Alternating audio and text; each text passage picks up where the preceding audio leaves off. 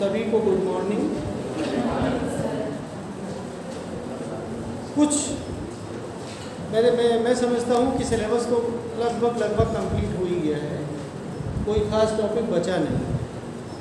और कुछ छोटा मोटा टॉपिक बचा होगा तो आप इस लायक हैं कि स्वयं कर लें। अब मैं सीधे से कुछ ऐसे ही कहीं से रैंडम सैम्पलिंग से आपको कुछ क्वेश्चंस डिस्कस करना चाहता हूँ। थ्योटिकल हो या एक्सपेरिमेंटल हो, पहले आपसे पूछूँगा, तब मैं उसका सॉल्यूशन बताऊँगा। अब जैसे कि ये क्वेश्चन लिखा हुआ है कभी कभी लैंग्वेज प्रॉब्लम आपको मिल जाती है। इसमें लिखा हुआ है a loop of radius one metre a of radius ये क्वेश्चन हमने पूछा तो नहीं था जैसे ऑफ़ रेडियस वन मीटर सब कि, कितने लोग इसका मतलब निकाल हैं? क्या मतलब क्या हुआ? सर एक रिंग है उसकी रेडियस हैं? इसको हम किस तरीके से माने? एक रिंग के रूप में मान लें। को क्या आप किसके रूप में मानोगे? रिंग बस ये और कोई प्रॉब्लम नहीं। इसके बाद आप कर लेंगे रेडियस इन्होंने वन मीटर कह दिया है, मास हुआ ten to the power four ये भारी है ये rolling along a horizontal surface horizontal surface पर रोल कर रहा है। ठीक है? That its center of mass has a velocity of 0.2 meter per second. तो center of mass की velocity है, वो है 0.2 मीटर पर सेकेंड इसका मतलब धीमे धीमे लुढ़क रहा है। यही तो मतलब निकला 0.2 मीटर पर सेकेंड से आगे की ओर बढ़ रहा भारी है बहुत एक मीटर की रेडियस बहुत बड़ी होती है। है ना? डायमीटर टू मीटर हो गया। To stop it how much work will have to be done अब इसके आंसर कोई भी लिखे जा सकते हैं। Can you do yourself क्यों बच्चों? मैं करके बताऊँ या पहले आप स्वयं how much work will have to be done how much work will have to done to stop it ये इतनी वेलोसिटी से आगे की ओर मूव कर रहा है इस वेलोसिटी से। तो इसका फंडामेंटल कोई बताएगा कि कैसे सॉल्व करो? क्या आप सॉल्व कर पाएँगे? बहुत सिंपल सा है। बेसिक बताएँ कि कैसे, किस अप्रोच से आप इसको सॉल्व करेंगे? कौन बताएगा? मैं पूछूँगा नहीं, आप लोग संकोच करते हो, किसी को खड़ा कर दो तो जानते हुए भी बोल नहीं पाते हो। धीमे धीमे बड़े हो जाओगे तो बोलना सीख जाओगे। क्या आइडिया लगा? रोलिंग मोशन का जो एनर्जी होती है kinetic energy in rolling motion आप निकालते हो, ये आपने पढ़ रखा है। आपने क्या पढ़ा है? Combined motion of translation and rotation जिसको रोलिंग कहते हैं तो इसका फॉर्मूला क्या होता है बताएँगे? हाफ़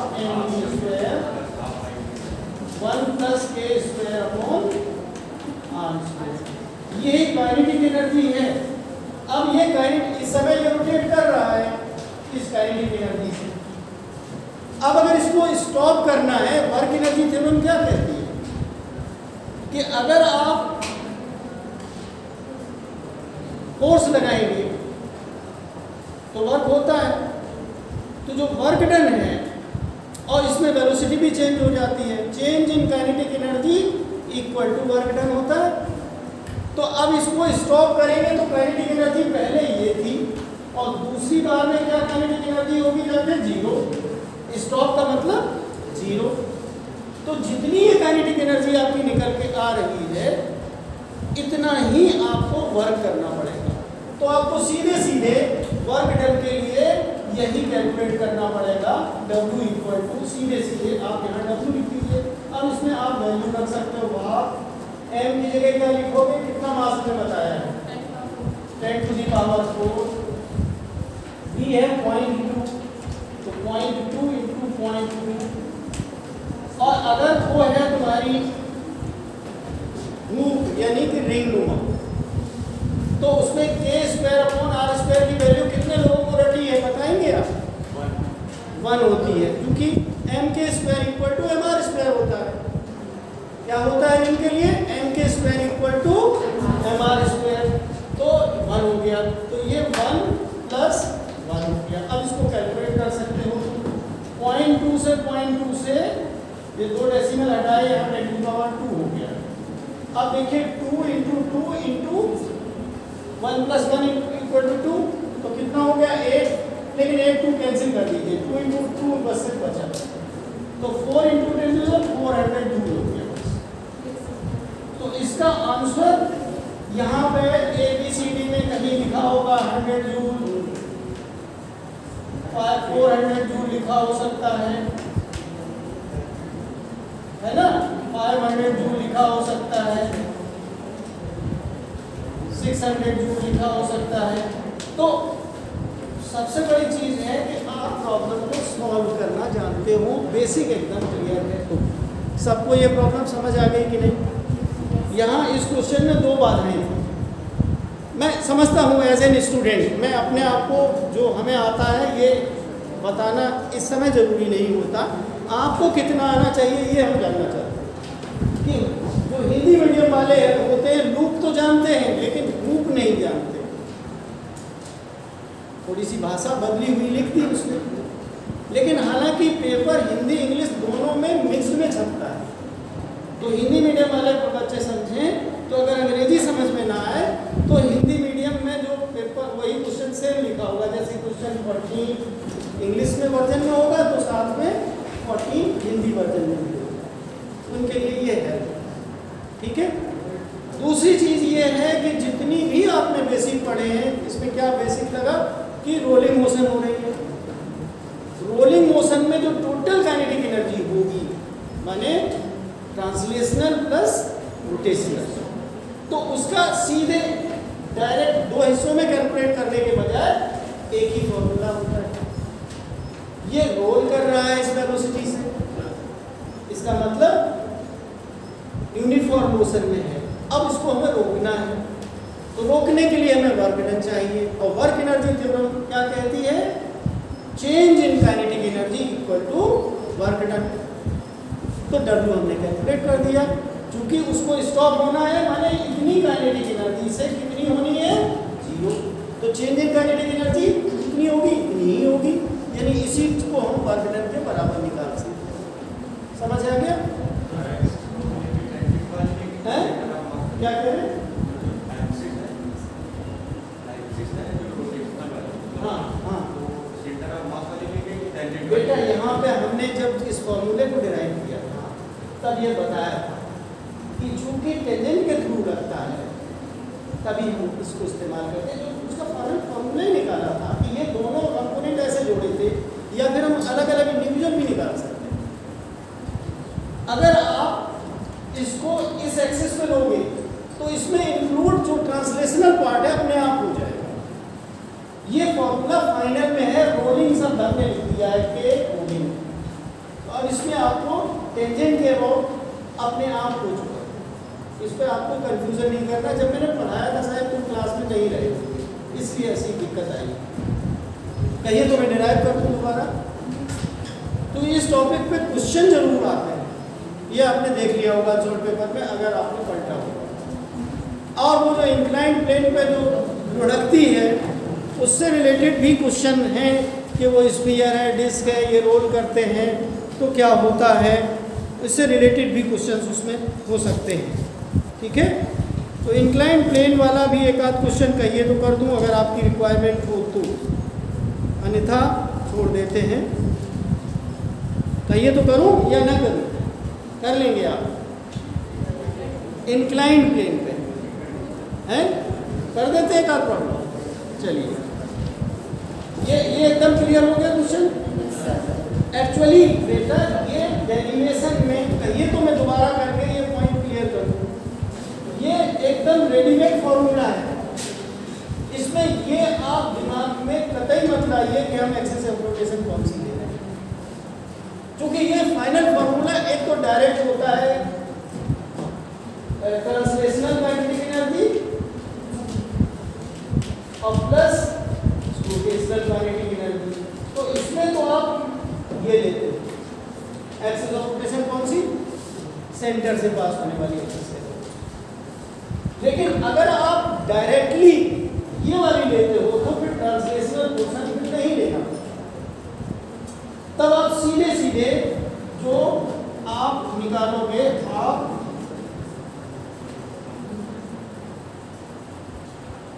आई ओमेगा स्क्वायर यही लो तो उसमें जब मोमेंट ऑफ़ इनर्शिया लोगे तो ये वाला नहीं होगा।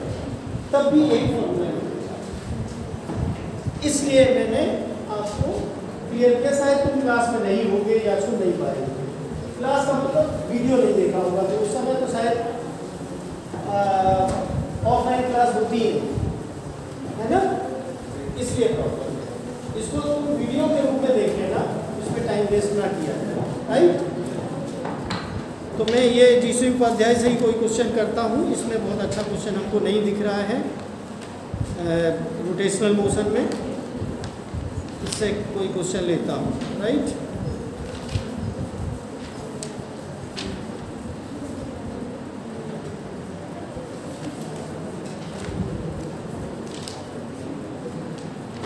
रिजिड बॉडी मोशन देना पड़ेगा।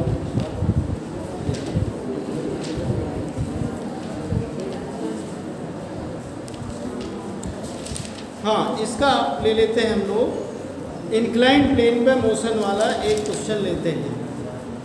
चलिए, ये लेते हैं। अभी फ़िलहाल मैं सॉल्व ले लेता हूँ। कुछ हम क्वेश्चन के वीडियो डाल देंगे बाद में।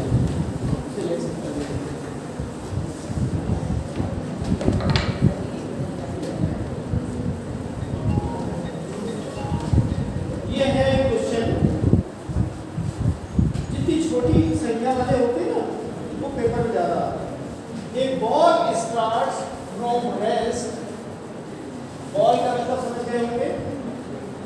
Rolls down in a 30 degree incline plane ये क्वेश्चन है। How much time would it take to cover 14 metre माने इसमें ये s equal to 14 metre distance चलाने में उसको टाइम कितना लगेगा? कैसे निकल सकता है टाइम? कोई आइडिया दे? हम लोग एक्सीलरेशन निकालेंगे। ये g sine theta upon one plus K square upon R square कर दोगे। अब देखिए, इसमें जो के स्क्वायर अपॉन आर स्क्वायर किस चीज़ का लगाएँगे आप? स्फीयर का।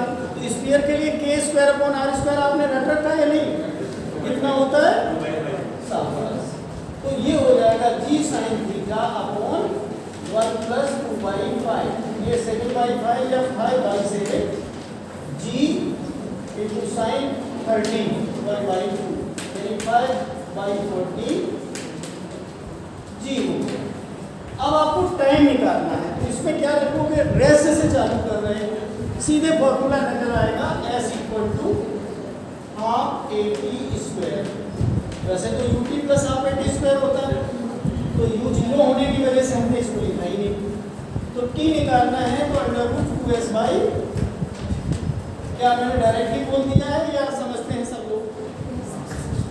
Two S equal to A T square या T square by under two S by A या T equal to root two S by A तो two into fourteen upon five upon fourteen ऊपर ही चला गया root लगा into जी माने nine point eight ठीक है फोर्टीन फोर्टीन का एक फोर्टीन बाहर आ गया ठीक है नाइन पॉइंट एट से इसको ट्वेंटी कर सकते हो फाइव से इसको फोर कर सकते हो कर सकते हो तो फोर का बाहर निकल आएगा ठीक है और अपॉन 98 हुआ है ना फाइव फोर अब इसका देखिए टू और ये 49 49 का सेवन बाहर आ जाएगा तो ये टू हो गया टू रूट टू आ गया सेकेंड समझ में आया तो मेन चीज़ है कि प्रोसेस आपने क्या किया एक्सीलरेशन का ये फॉर्मूला आपको रटा होना चाहिए बॉडी को पहचानिए। बॉडी को पहचानना ज़रूरी होता है कि अगर सॉलिड स्फीयर है जब बोले ना तो सॉलिड स्फीयर मान। लो फुटबॉल वगैरह बोल देता है तो वो सेल होती है। स्फेरिकल सेल अगर है तो उसका मूवमेंट ऑफ़ का फॉर्मूला कुछ और होता है। को, कोई बताएगा? कोई बताएगा? Movement of inertia of spherical shell of shell बताएँ। हाँ कौन बताएगा? सब लोग सहमत हैं? क्यों? अब अगर के स्क्वायर अपॉन आर स्क्वायर आपको निकालना है तो general formula M K square होता है। वो two by three two by three M R square करोगे। एम एम कट गया तो K square upon R square equal to इसमें टू बाई थ्री आएगा, ये ध्यान रखें अगर हॉलो स्फीयर है हॉलो स्फीयर का मतलब है कि मोटा अंदर से है, उसमें इंटरनल रेडियस यानी आंतरिक त्रिज्या भी है और एक्सटर्नल रेडियस भी है। तब फॉर्मूला क्या है? ये सब आपको प्रैक्टिस करनी पड़ेगी अकेले में, इसलिए जानबूझ के आपके साथ ये कर रहा हूँ। ठीक है ना? तो ये हुआ जाके टू बाई फाइव एम बोलो एम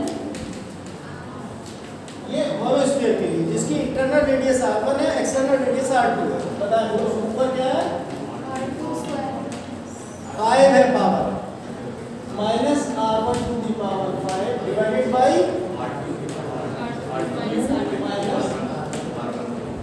ये फॉर्मूला है अब अगर एम के स्क्वायर के बराबर करोगे इसको एम एम घटेगा तो K square upon R square जो ऊपर जाएगा वो तो निकालना मुश्किल है सीधे सीधे इससे कैलकुलेट करना पड़ेगा तब K square upon R square की वैल्यू या के स्क्वायर की वैल्यू निकल आएगी तो फिर आर स्क्वायर के साथ उसको सॉल्व करो समझ में आया क्योंकि सिंगल आर नहीं है तब अगर सिलेंडर लुढ़क रहा होता तब K square upon R square क्या आता ये फास्ट प्रैक्टिस के लिए इस लेवल पे आपको जाना पड़ेगा for solid cylinder rolling on on a plane पहले तो हम बात करते हैं कैसे उसका सिलेंडर का movement of inertia solid cylinder का मूवमेंट मूवमेंट ऑफ़ इनर्शिया उसके एक्सिस के अबाउट हम रोलिंग मेथड में क्या कह रहे हैं? सेंटर के अबाउट लेना है। अगर ये फॉर्मूला लगाना है half M K square plus R square K square upon R square plus one तो वो मोटी डिस्क हम कई बार कह चुके हैं। Half M R square equal to M K square यानी K square upon R square equal to one by two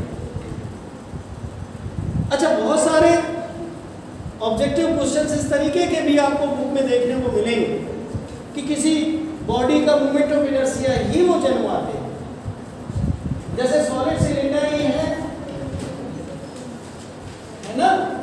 ये एक्सेस ऑफ़ रोटेशन है आपने हाफ़ एम आर स्क्वायर तो पढ़ लिया लेकिन एक्सेस ऑफ़ रोटेशन ये है perpendicular to the length of the cylinder और passing through it centre of mass तब क्या फॉर्मूला है? नहीं एम स्क्वायर बाई ट्वेल्व तो होगा, ये बात सही है, लेकिन ये उसके लिए होता है रॉड के लिए। M L square by twelve के अलावा इसमें कुछ मिलेगा हमने डेरिवेशन करके भी दिखाया। तो ये चीज़ें आपको लर्न करनी है। यही सब क्वेश्चन बनते हैं। और अगर हमने इसके किनारे पहुँच गए तो फिर आपको ये और जोड़ना पड़ेगा N into N by two का whole square N H square भी जोड़ना पड़ेगा फिर उसको पैरेलल एक्सिस भी लगानी पड़ेगी। अच्छा एक बात मैं पूछना चाहता हूँ, जैसे रिंग है। इसका मूवमेंट ऑफ़ इनर्शिया इस एक्सिस के अबाउट तो आपको रटा हुआ एम आर स्क्वायर होता है। लेकिन अबाउट इट्स डायमीटर ये नहीं होता है क्या होता है कोई बताएगा कैसे यहाँ पे तुम फिर चूक गए फिर वही एग्ज़ाम में गलती करके आओगे आप इसको आई एक्स और आई वाई मान लें क्योंकि वो यूनिफॉर्म है I X equal to I Y equal to I लिख देते हैं और ये जो हमने एक्सेस लिखी है जिसका आपको पता है वो आई जेड कहलाती है तो I Z M R square है तो आई एक्स इक्वल टू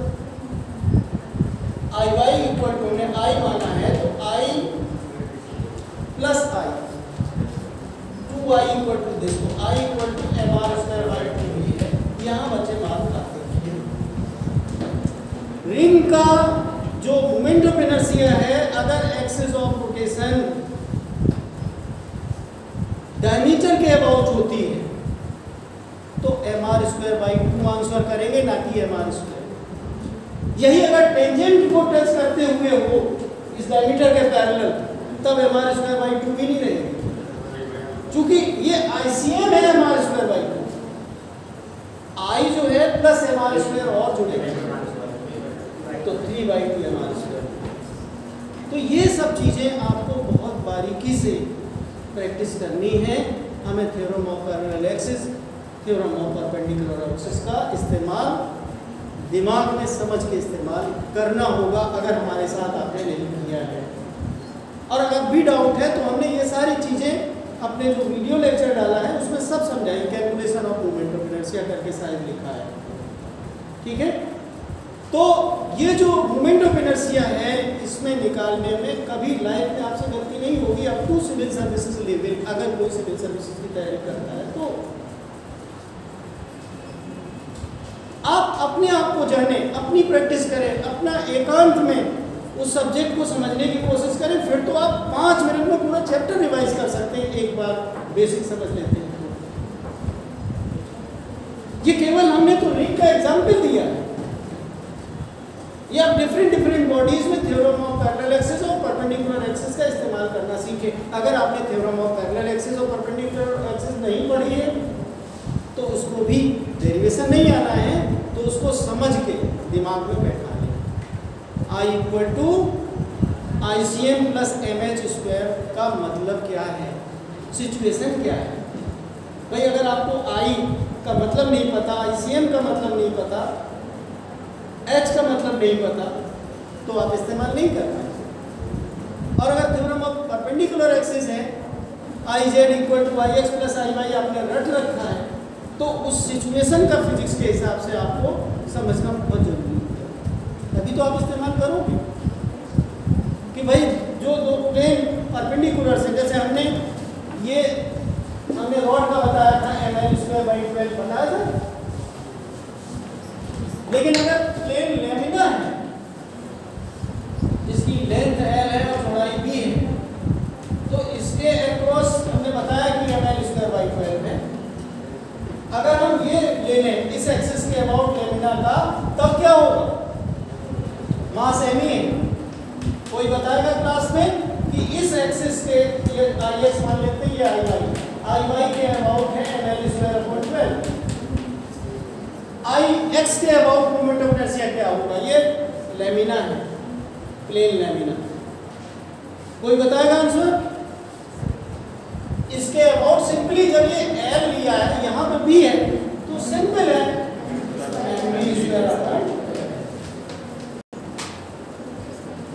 और इसका जो मोमेंट ऑफ़ इनर्शिया है perpendicular to the plane of the lamina यानी आई जेड इस एक्सिस जो हमने चौक पकड़ रखी है, इस एक्सिस के अबाउट मोमेंट ऑफ़ इनर्शिया निकालना है तो इसमें थ्योरम ऑफ़ परपेंडिकुलर एक्सिस बहुत आसानी से लगेगी। आई जेड क्या निकलेगा आई जेड ही होगा।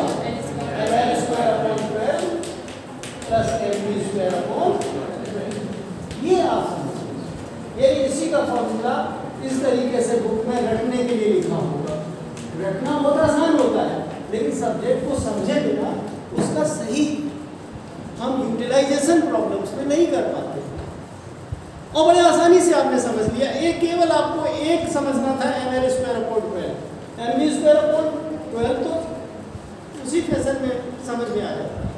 लेकिन चूँकि एक ही प्लेन में है तो हमने एक को एक्स एक्सेस कंसीडर कर लिया दूसरे को वाई एक्सेस कंसीडर कर लिया। और जब उसके परपेंडिकुलर निकाले तो परपेंडिकुलर एक्सेस थ्योरम लगा दिया। आइजेड आ गया। तो इस तरीके से जितने फॉर्मूले आपके इस चैप्टर में दिए हुए हैं, आप एक बार रीड कर लो, फिर उसके बाद टेबल में समझ किए दिमाग में अच्छे से बैठा लो। और उसके बाद जब आप प्रॉब्लम्स करोगे तो बड़े इजी गोइंग हँसते हँसते सॉल्व होती चली जाएँगी। आपको हमसे पूछने की ज़रूरत नहीं पड़ेगी, किसी से भी पूछने की ज़रूरत नहीं पड़ेगी। इसीलिए कहते हैं कि बेसिक को स्ट्रॉन्ग करना, असली अध्ययन करना होता है। स्टडी का मतलब है कि बेसिक स्ट्रेंथ स्ट्रॉन्ग करिए। इसी को कहते हैं कि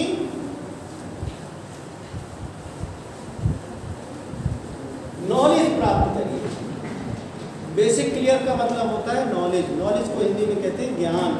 ज्ञान कहाँ से आता है? बुद्धि से। किससे आता है? बुद्धि से। और रटा कहाँ से जाता है? दिमाग से माइंड से। और माइंड के बारे में कहा जाता है mind is a small bucket बाल्टी में जितना पानी भरोगे, उतना ही होगा, ना कम होगा, ना ज़्यादा होगा। और बुद्धि को कहा जाता है गहरा कुआ।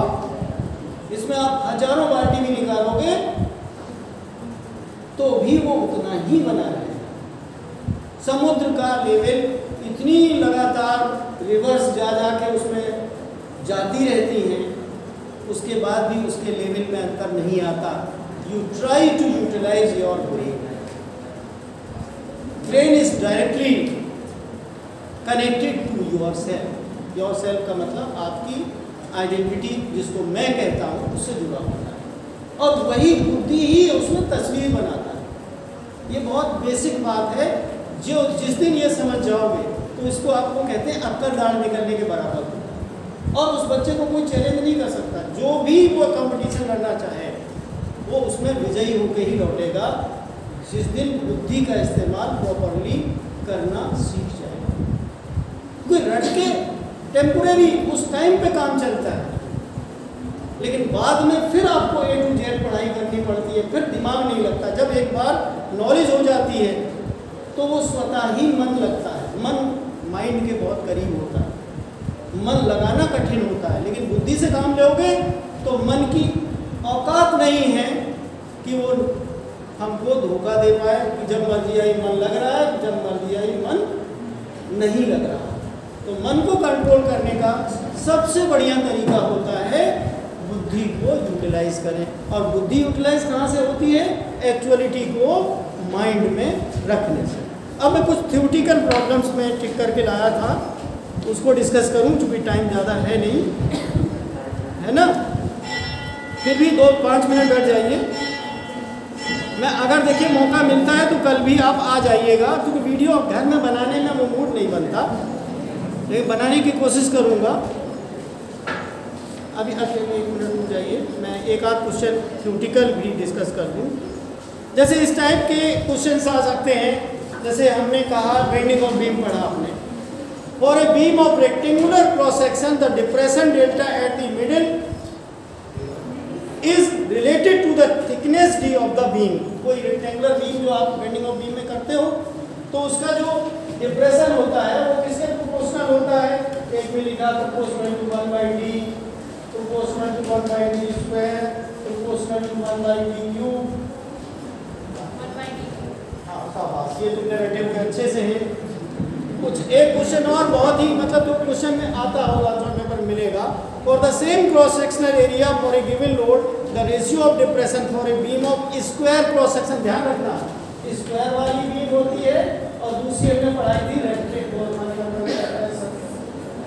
सर्कुलर क्रॉस सेक्शन तो इसका जो रेशियो होता है वो थ्री अपॉन पाई ये ध्यान रखना अगर रेक्टेंगुलर टू ये सर्कुलर बाद वाली पढ़ने वाली बात में है तो थ्री अपॉन पाई लेकिन कुछ चालाकी से पेपर सेटर ने उसने पहले सर्कुलर क्रॉस सेक्शन की बीम लिख दिया और बाद में उसने रेक्टेंगुलर लिख दिया तुम दिमाग में बैठा है वही वाला क्वेश्चन जो सर बता रहे थे थ्री अपॉन पाई होता है आपने थ्री अपॉन पाई कर दिया तो ये ध्यान रहे कि कौन सी चीज़ पहले लिखी है कौन सी बाद में तो पाई अपॉन थ्री हो जाएगा अगर आपने उलट दिया तो इस टाइप की चीज़ों को हमने एक सैंपल दिया कि जब भी क्वेश्चन आप पढ़ के जाएँ तो ये ध्यान रखें कि कौन सा पहले था, कौन सा न्यूमरेटर में कौन सा आ रहा है डिनोमिनेटर में कौन सा आ रहा है। मैं यहीं पे अपनी बात ख़त्म करता हूँ नेक्स्ट में